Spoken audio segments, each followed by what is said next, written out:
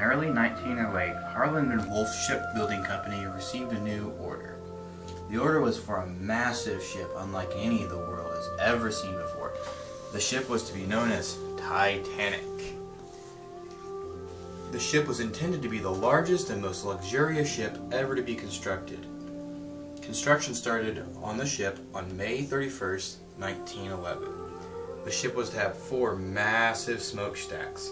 29 boilers ran by 159 coal burning furnaces and a double bottomed hull, which many people believed would make the ship unsinkable. No expense was spared to make the ship the most luxurious one afloat. The ship came complete with a telephone system, a swimming pool, a gym, a squash court, and many more commodities that were unheard of in the cross-Atlantic liner business. The one thing the Titanic was short of was lifeboats. The ship was designed to have 64 lifeboats capable of holding over 4,000 people, but since the ship had such a reputation for being unsinkable, she set sail with only 20 small lifeboats, which at most could hold a little over 1,100 people. This is a major problem since the Titanic could carry almost three times that many passengers. After setting out on its maiden voyage on April 10, 1912, the Titanic had little problems for the first four days, actually increasing speed as they went despite ice warnings they received from other ships in the area. On the night of April 14th, there was no new there was a new moon. The temperature had dropped to near freezing, and the ocean was a flat calm.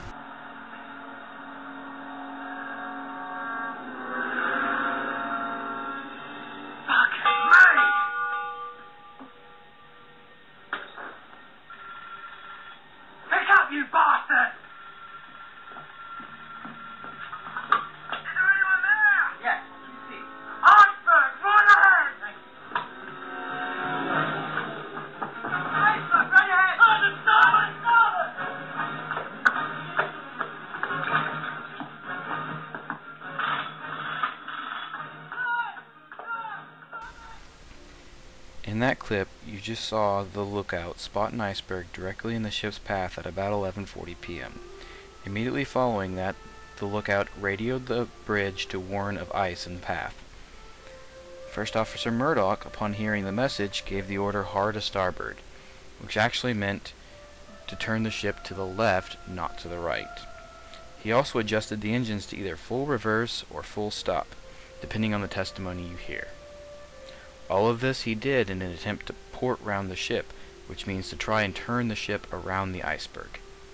All this was for naught because the ship still struck the iceberg. The ship scraped the side of the iceberg, buckling the hull in several places for the length of almost 300 feet. This meant that the first six watertight compartments were open to the sea.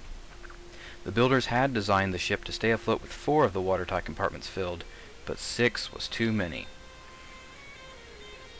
Many experts believe that if the ship had just struck the iceberg with full-on straight speed, that she might have actually survived. They theorized that if they had done this, three or four of the first compartments would have collapsed on each other and allowed the ship to stay afloat. Following an inspection by the ship's builders and the ship's officers, it was determined that the ship would sink. The order for lifeboats to be loaded and distress calls to be sent out was issued just before midnight. The distress call included CQD, which was the distress call common for the time period, and SOS, which was a new distress call, getting its first ever use on the Titanic.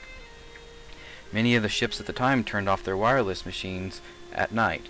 There were reports of several ships seen in the distance from the Titanic, but they were unable to be contacted because of the wireless machines being turned off.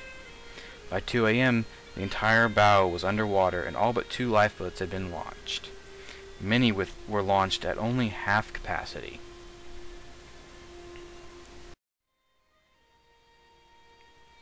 A short time after the final lifeboats were launched, at around 2.15, the stern of the ship began to rise even further out of the water.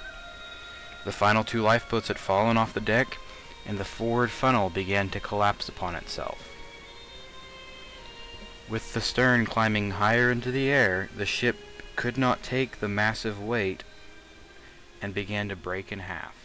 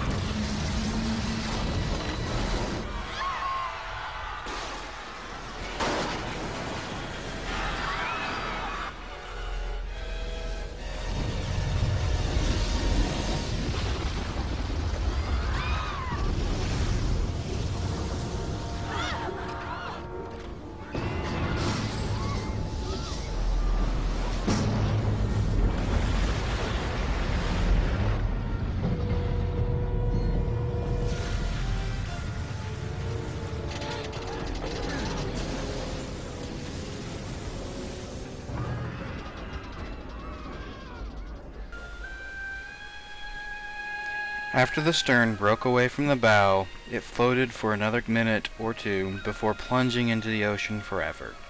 After that, there was nothing for the survivors to do but wait and hope for rescue.